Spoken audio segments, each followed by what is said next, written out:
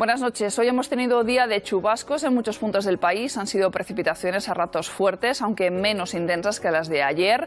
Unas precipitaciones que van a ir claramente a menos. Las temperaturas se mantienen el fin de semana y la semana que viene suben y mucho. Si esta semana hemos estado con primavera en estado puro y temperaturas en algunos casos frescas. La semana que viene nada que ver y volveremos a esos atisbos de verano. Temperaturas por encima de los 30 grados en muchos puntos del centro y del sur. Pero eso será la semana que viene. De momento vamos con la jornada de hoy. Que hemos tenido un ambiente variable y chubascos en prácticamente todo el país, aunque sobre todo en el centro y en el noroeste peninsular.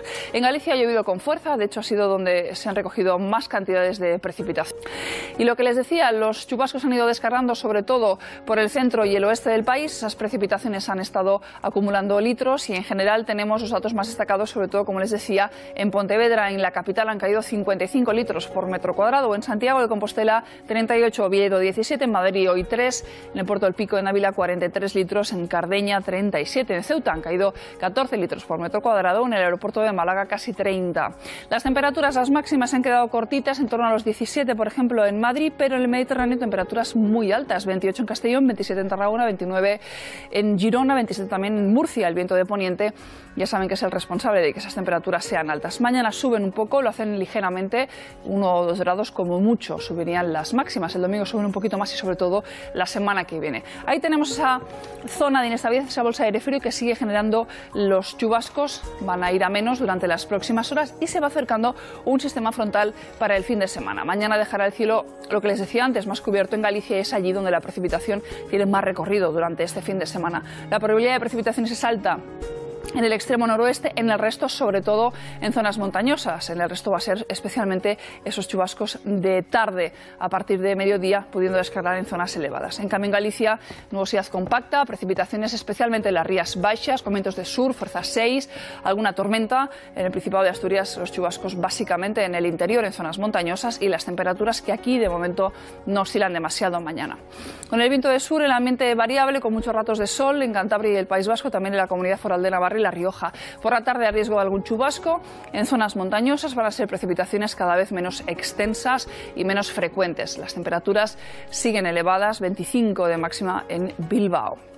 Intervalos de nubes y crecimiento de ellas durante la tarde, tanto en el Pirineo como en la Ibérica, pero sobre todo en el Pirineo de Huesca y en el de Lleida, las lluvias pueden ir acompañadas de tormenta. En general, en el resto esperamos que haga sol y las temperaturas máximas que sigan en el interior por encima de los 25 y en zonas de la costa que el ambiente se mantenga cálido por ese viento de poniente. Lo mismo en la comunidad valenciana en la región de Murcia, igual que hoy, crecimiento de nubes en el interior en montaña, algún chubasco débil en conjunto, sol también con nubes altas en eh, Baleares y las temperaturas que siguen rozando los 30 grados por el poniente en Valencia, por ejemplo.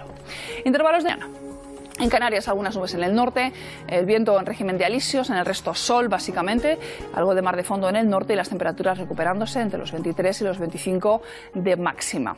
La otra mitad del fin de semana, el domingo, las mínimas pueden bajar algo en el centro y subir ligeramente en Galicia. Las máximas ya se nota ese ascenso más evidente sobre todo por el centro y el oeste de la península ibérica. Podrían bajar algo en el Mediterráneo porque cesa el viento de poniente, entra algo de levante, el Mediterráneo surte, hace su efecto y hace que bajen las temperaturas máximas. En principio, precipitaciones, chubascos de tarde son muy probables en el Pirineo, sobre todo en el Pirineo Oriental y habrá también algunas nubes residuales en la vertiente atlántica de Galicia, dejando precipitaciones en ese sector.